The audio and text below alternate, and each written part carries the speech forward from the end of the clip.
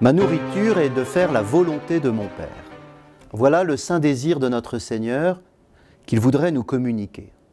L'union des volontés. L'amitié entre les êtres en est une belle image. Deux désirs qui s'accordent presque spontanément. Presque, car bien souvent, cette spontanéité est plus rêvée que réelle. Nous savons bien par expérience que les vouloirs sont difficiles à accorder. La vie à deux ou à plusieurs consiste surtout à frotter deux diamants ensemble pour qu'ils se polissent. L'Esprit Saint, le saint désir de Dieu que Jésus veut répandre en nos cœurs, peut nous offrir en ce temps de carême plus de souplesse. Jésus nous rappelle aujourd'hui un moyen bien concret, l'obéissance au commandement et surtout aux plus petits.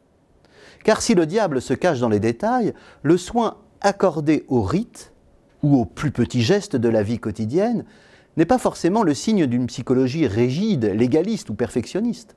Le rite a sa pédagogie divine.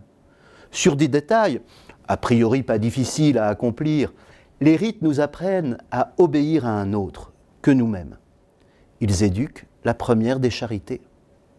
La politesse, qui respecte les rites d'une nation ou d'une maison, signe le respect qu'on veut à l'autre. La vraie obéissance devrait s'habiller de la même délicatesse.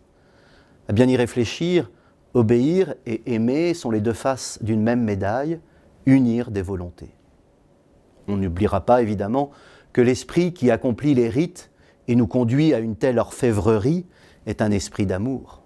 L'hypocrite le mime peut-être à la perfection, mais il ne le possède pas.